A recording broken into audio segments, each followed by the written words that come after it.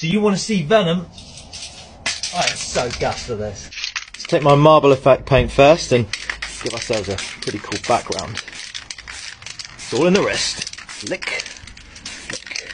I want to concentrate some of this in the middle. It looks like Venom already. When I look at this stencil, it just reminds me of four hours and lots of stab wounds. This has so much potential to go wrong. Okay, scrap the white. I'm so nervous about this. Okay, bit more Venom's Venom. Please be kind. This took a lot of work. Oh yes! Boom! So sick.